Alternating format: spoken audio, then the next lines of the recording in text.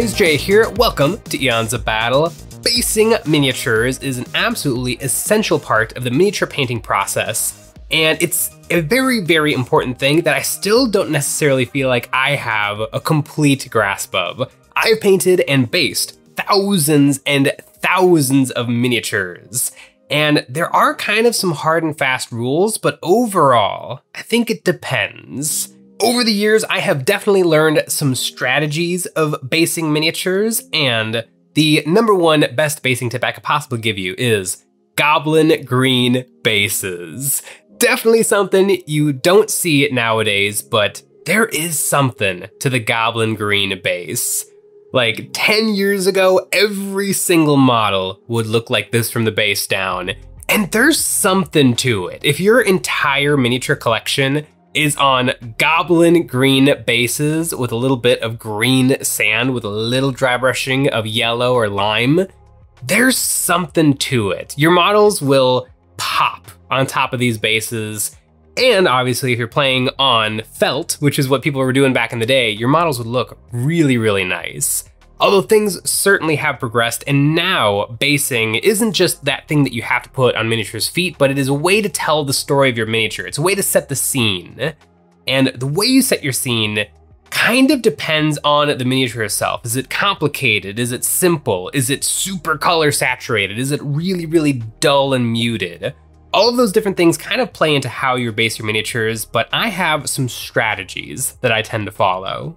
One of my favorite types of miniatures is a really bright, saturated model standing on kind of a dull base. This is my Vampire Lord, and she's one of my favorite models that I have ever painted. Super crazy color scheme based on a Yu-Gi-Oh card. But her base, her base works really, really well because she is so vibrant and so saturated.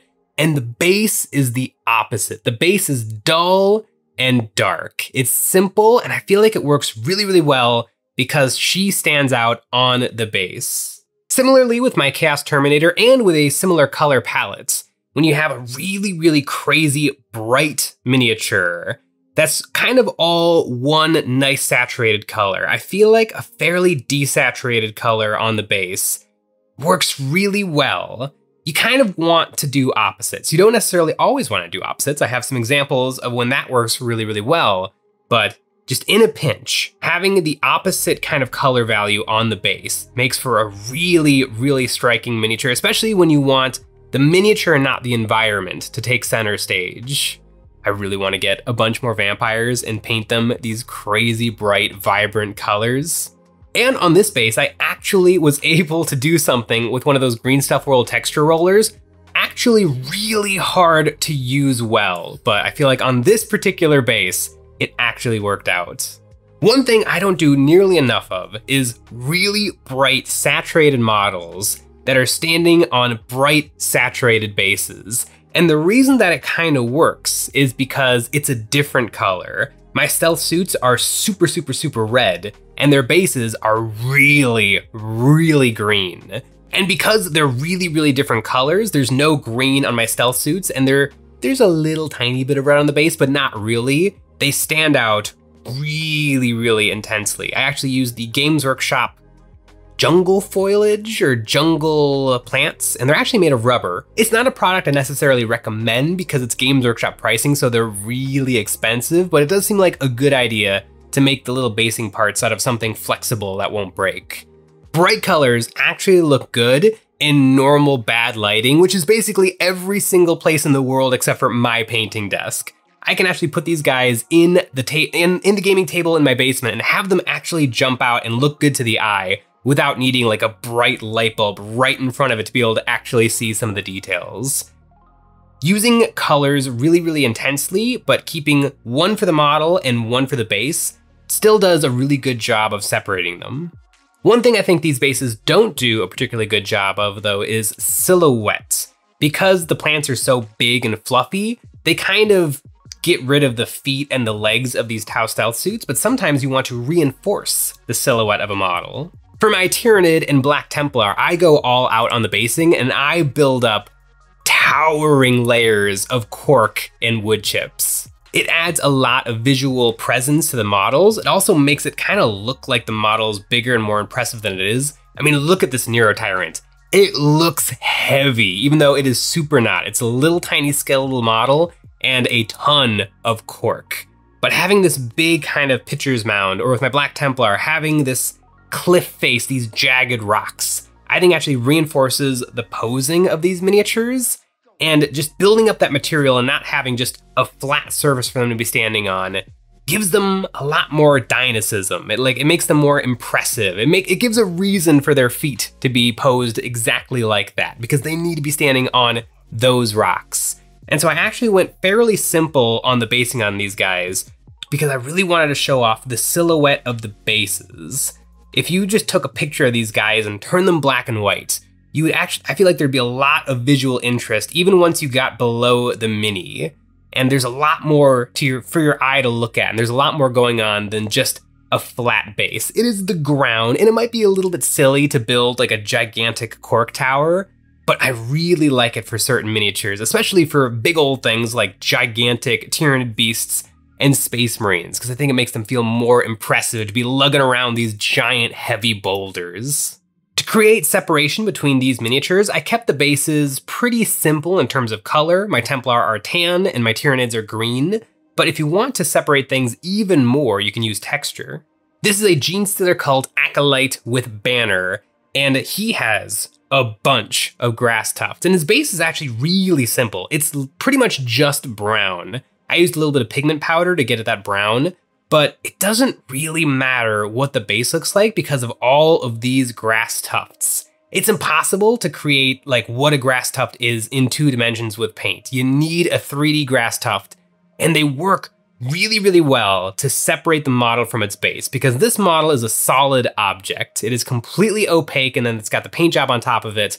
But those grass tufts are a little bit transparent. They're made out of plastic you can see through them a little bit, the light gets through them a little bit, and it does a really good job of separating a model. If you're ever kind of in doubt with basing, just throw some grass tufts on there. It always works really, really nicely. And similarly on this model, the Vine Knight, which is actually our miniature. And if you want to get this miniature, you can go to printedwargames.com. But on this base, I have taken a whole bunch of, this is actually Martha Stewart flock, you know, that jailbird, but it just put it creates a little bit of like real moss on the rocks and on the base. And it's something it doesn't look like paint. It is physical. It's kind it's got a life of its own. It does look a little bit more real and a little bit it has a little bit more presence. And so if you want to create a lot of separation between your model and its base, flocking is a really, really good way to go about it because it's really simple. You just glue it on and it does a ton to separate your miniatures and to make them feel like they are something different than what they're actually standing on. You see this a lot actually in Golden Demon entries, where the model will be painted and it's painted beautifully and immaculately and perfectly, and then the base is just kind of made of rubble and flock and pigment powders, and it feels incredibly different. You instantly see that line of separation, and I think that has to do with texture texture is a really powerful tool in miniature painting, and it's one that I actually haven't experimented with enough. I have a ton of flocks and textures and static grasses, but I feel like I always reach for the tufts just because they're so easy and they're so simple. But maybe one of these days I'll get one of those electric static grass applicators and see if I can actually do some real work with them. But maybe you don't actually want separation because that is actually something that can happen with miniature painting. These Nightkin from Fallout Wasteland Warfare, I, I, wanted them to look right out of the game, ripped right out of the actual video screen. And so to create that look, I actually painted these bases using all of the same colors that I used to paint the Nightkin. I, they're different kind of, there's different painting going on and different textures to add a little bit of separation so that you can actually tell the difference between his foot and the ground he's standing on.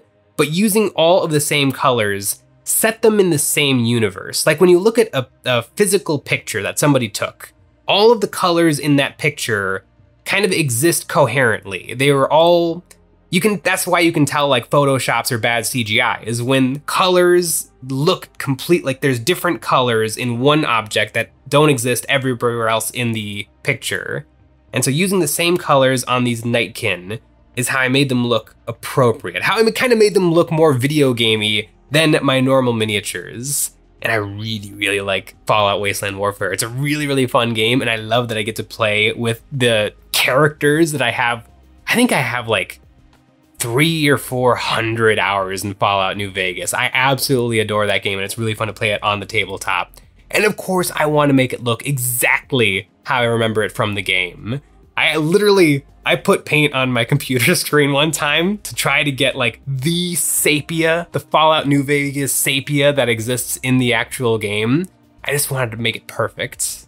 I've used all of these different techniques to try to tell a story with my basing and give my miniatures that extra oomph to make them feel really special. And I also have a favorite and least favorite base I have ever made. But first, our Patreon.